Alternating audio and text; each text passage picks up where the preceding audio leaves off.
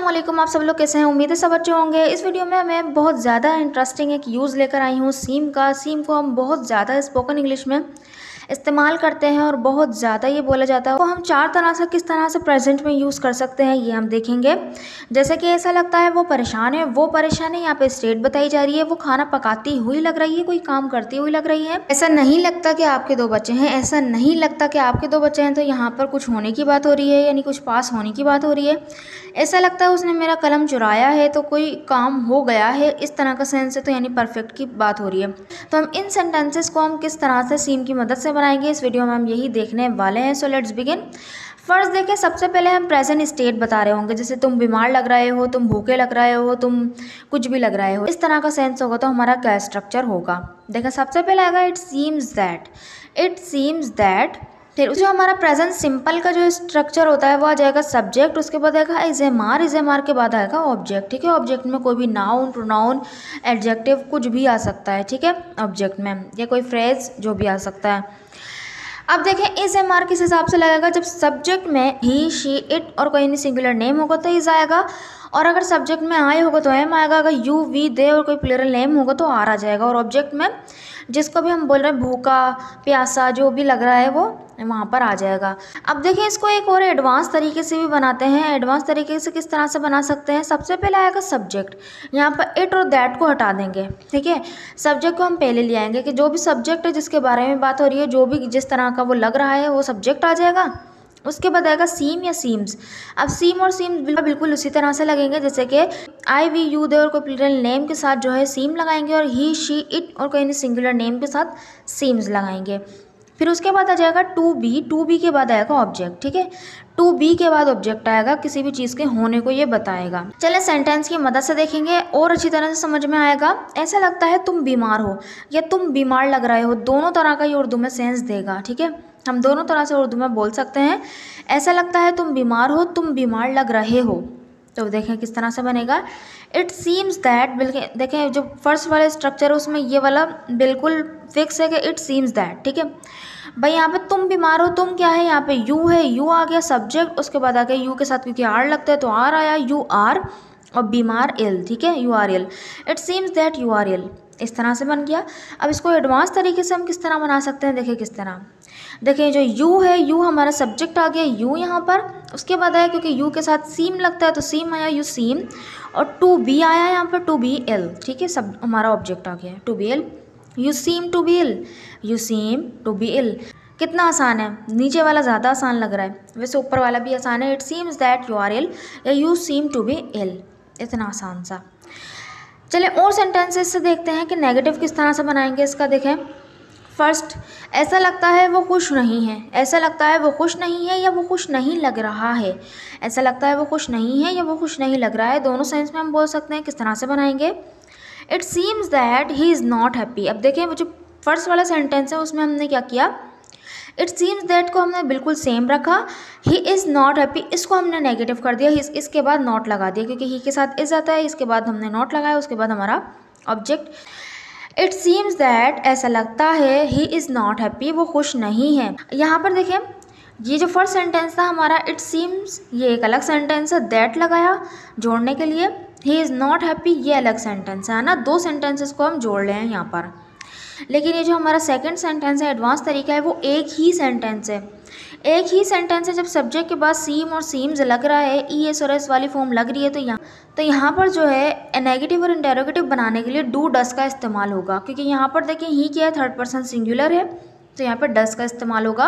और डस के साथ नोट लगेगा तो बन जाएगा he doesn't seem he doesn't does not का contraction doesn't he doesn't seem वो नहीं लगता है, क्या नहीं लगता टू बी हैप्पी खुश, ठीक है? He doesn't seem to be happy वो खुश नहीं लग रहा है, या ऐसा लगता है, वो खुश नहीं है, दोनों का ही सेंस देगा he doesn't seem to be happy next sentence देखें। ऐसा लगता है वो परेशान हैं, या वो परेशान लग रहे हैं। दोनों को हम बना सकते हैं। It seems that they are worried it seems that they are worried या इस तरह से बोल सकते हैं this seem to be worried this seem to be worried I hope कि आपको ये स्ट्रक्चर समझ में आया होगा। So let's move towards another structure which is present continuous का ये बता रहा होगा। प्रेजेंट कंटिन्यूस देखें, किस तरह से सेंटेंस बनेगा? वही इट सीम्स दैट यहाँ पर बिल्कुल सेम आएगा फॉर सीम्स दैट वो हमारा बिल्कुल वही फ्रेज आएगा। फिर उसके बाद जो हम लिखेंगे, वो सेंटेंस आएगा हमारा प्रेजेंट कंटिन्यूस में, देखें। सब्जेक्ट आया, उसके बाद इज़ एम आर आया इज़ एम आर के बाद बस वर्ब की आई फॉर्म आ गई, फिर उसके बाद ऑब्जेक्ट आ गया। यही होता है ना प्रेजेंट कंटिन्यूस का फॉर्मूला बस क्या होता है कि आईएनजी फॉर्म आ जाती है इज़ एम आर के बाद, ठीक है? अब देखें इसको एडवांस तरीके से किस तरह बनाएँगे बहुत आसान है और बिल्कुल इंटरेस्टिंग भी है। देखें सब्जेक्ट आएगा, उसके बाद आएगा सीम और सीम्स वही। सीम और सीम्स आएगा अब यहाँ पर यहाँ पे फ़र्क क्या होगा? टू बी के बाद वर्ब की आई फॉर्म आ जाएगी। ठीक है? देखें जैसे इज़ एम आर के बाद वर्ब की आई फॉर्म आई है ना, यहाँ पे भी बस टू बी के बाद वर्ब की आई फॉर्म प्लस ऑब्जेक्ट आ जाएगा। सेम बिल्कुल देखें, वही स्ट्रक्चर है, बस वर्ब की आई फॉर्म यहाँ पर ऐड हो रही है। टेंस की मदद से देखते हैं। ऐसा लगता है वो खाना पका रही है। ऐसा लगता है वो खाना पका रही है। इस तरह भी बोल सकते हैं। वो खाना पकाती हुई लग रही है। ठीक है? इस तरह भी बोल सकते हैं। इन दोनों को ही हम इन दोनों तरीके से बनाएँगे it seems that she is cooking food it seems that आ गया ये बिल्कुल हमारा बिल्कुल एज इट इज़ ठीक है? शी आया क्योंकि यहाँ पर वो खाना पका रही है लड़की है शी के साथ इज़ लगता है इज़ आया, उसके बाद आ गया खाना पकाना, पकाने के लिए हम कुक का इस्तेमाल करते हैं। उसमें आई लग गई कुकिंग और फ़ूड खाना, ठीक है? It seems that she is cooking food अब इसको इस तरह बना सकते हैं कि she seems to be cooking food she के साथ क्योंकि सीम्स लगेगा she seems to be cooking food बस क्या आ गया टू बी के बाद कुकिंग आ गया एक्स्ट्रा ठीक? She seems to be cooking food और सेंटेंसेस से देखते हैं, अच्छी तरह समझ में आएगा। ऐसा लगता है वो मार खा रहा है, या वो मार खाता हुआ लग रहा है, यानी मारने वाला कोई और है, वो तो सिर्फ़ मार खा रहा है। तो ये बनेगा पैसिव में, किस तरह से बनेगा देखें। It seems that he is being beaten he is आया ही के साथ इज़ आया, इसके बाद देखें। वर्ब के आई जी फॉर्म ही आई है, बस बींग आई। बींग के बाद हमने मारना तो मारने को हम बीट कहते हैं तो वो बिटन हो गया तो बींग बिटन यानी बिटना, ठीक है? It seems that he is being beaten इसको इस तरह से भी बना सकते हैं कि he seems to be being beaten देखें बींग बिटन बिल्कुल सेम आया व ही सीम्स लगा और टू बी आया टू बी के बाद बींग बिटन आ गया। He seems to be being beaten ऐसा लग रहा है, वो मार खा रहा है। ऐसा लगता है, वो मार खा रहा है। ये ऐसा लग रहा है, वो मार खा रहा है। लग रहा है का भी सेंस आएगा तो हम इसको बिल्कुल इसी तरह से ही बनाएँगे। अब देखें नेगेटिव सेंटेंस देखते हैं। ऐसा लगता नहीं है कि कमरा साफ़ किया जा रहा है, ऐसा लगता नहीं है कि कमरा साफ़ किया जा रहा है। कमरा साफ़ किया जा रहा है, देखिए कमरा साफ़ करने वाले का ज़िक्र नहीं है, कमरा साफ़ किया जा रहा है, ये भी एक पैसे हुए देखें वही सेम बींग के बाद वर्ब की थर्ड फॉर्म अब देखें ऐसा लगता नहीं है, क्योंकि लगता नहीं है, यहीं पर हमने नेगेटिव बना दिया, कमरा साफ़ किया जा रहा है, ये अलग सेंटेंस है, ये हमारा पॉजिटिव में दिखा रहा है। तो अब जो डज़ नॉट लगेगा, वो इट के बाद लगेगा, ठीक है? क्योंकि वो सीम से पहले लगेगा। इट डजेंट सीम दैट क्योंकि इस वाले सेंटेंस में लगता नहीं है का सेंस आ रहा है ना तो इट सीम्स दैट ये वाले ही सेंटेंस में आएगा। इट सीम्स दैट मैंने बोला था ना it seems that it seems जो है एक अलग सेंटेंस बन रहा है। यहाँ पे दैट जो है सेंटेंस को जोड़ रहा है तो ये आगे वाला सेंटेंस जो है, ये अलग सेंटेंस है। तो the room is being clean ये अलग सेंटेंस है। इट डजेंट सीम ये अलग सेंटेंस है। तो ऐसा लगता नहीं है, यहाँ पर क्योंकि नहीं का सेंस था इसलिए हमने यहाँ पर ही डज़ नॉट लगाया, इसको ही नेगेटिव बनाया। इट डजेंट सीम ऐसा नहीं लगता दैट के the room is being clean के कमरा साफ़ किया जा रहा है। अब देखिए यहाँ पे जो रूम है द रूम ये हमारा सब्जेक्ट तो देखिए सब्जेक्ट बन जाएगा यही द रूम डजेंट आ जाएगा डज नॉट का contraction doesn't seem to be being clean ठीक है? The room doesn't seem to be being cleaned I hope आपको ये स्ट्रक्चर भी समझ में आया होगा। नेक्स्ट है हमारा, जिसके अंदर हम कुछ होने की बात कर रहे हैं, जैसे कि तुम नहीं लगते हो कि तुम्हारे दो बच्चे हैं, इस तरह का सेंस तो देखें, वो प्रेजेंट पोजीशन देख सबसे पहले जो हमारा सेंटेंस स्ट्रक्चर बनेगा, वही इस तरह से इट सीम्स दैट हमारा सेम रहेगा, फिर उसके बाद जो हमारा बनेगा सब्जेक्ट उसके बाद आएगा हैव और हैज़ और उसके बाद हो जाएगा ऑब्जेक्ट ठीक है? हैव हैज़ और ऑब्जेक्ट हैव जब लगेगा, जब सब्जेक्ट में आई वी यू दे और कोई प्लूरल नेम होंगे, और हैज़ जब लगेगा, जब सब्जेक्ट में ही शी इट और कोई नहीं सिंगुलर नेम होंगे। और इसको एडवांस तरीके से हम इस तरह बनाएँगे। सब्जेक्ट के बाद सीम और सीम्स वही सेम रहेगा, उसके बाद देखें क्या आएगा। अब बस बी की जगह ना हैव आ जाएगा। टू हैव और ऑब्जेक्ट आ जाएगा। टू हैव ऑब्जेक्ट ठीक है? इतना सा सारे बस कि टू के बाद हैव आ जाएगा, उसके बाद ऑब्जेक्ट देखें सेंटेंस बिल्कुल वैसे ही जैसे हैव हैज़ की जगह इज़े मार था ना इज़े मार की जगह बस बी आ गया था और यहाँ पे हैव हैज़ है तो हैव हैज़ की जगह बस हैव आया, ठीक है? टू के बाद हैव लगाते हैं, वर्ब की फ़र्स्ट फॉर्म लगाते हैं। और ये जो हैज़ है ना ये, वर्ब की फिफ्थ फॉर्म है, ठीक है? तो फिफ्थ फॉर्म हम यहाँ पर नहीं लगाएँगे, टू के बाद वर्ब की फ़र्स्ट फॉर्म ही लगाई जाती है, इसलिए हैव ही लगेगी हर सूरत में, भले से सब्जेक्ट में। ही शी इट और कैनी सिंगुलर नेम भी हों। क्योंकि जब सब्जेक्ट में ही शी इट और कैनी सिंगुलर नेम होंगे तो वो सीम्स लग जाएगा ना सीम में एस लग तो जाएगा सीम्स आ जाएगा। है ना?